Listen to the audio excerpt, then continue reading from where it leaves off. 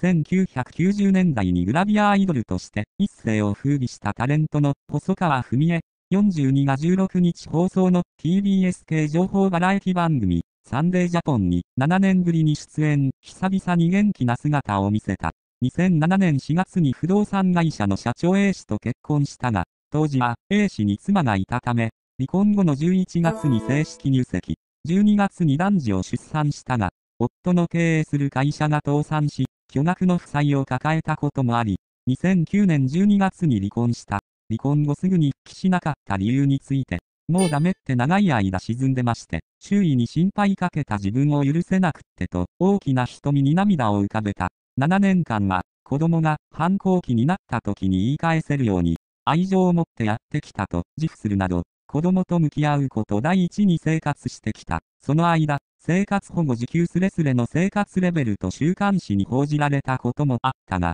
お金は、点々点、本当に貯金を少しずつ崩してやっていましたと、ギリギリの生活を送っていることを明かした。今回は、胸元の詰まったシャツにジャケット姿と、露出は全くないものの、胸の大きさは一目瞭然。F カップを誇ったバストは、今も90センチと、健在だ。グラビアについても、うまく撮ってもらえれば、なんとかなるかもしれないと、意欲を見せた。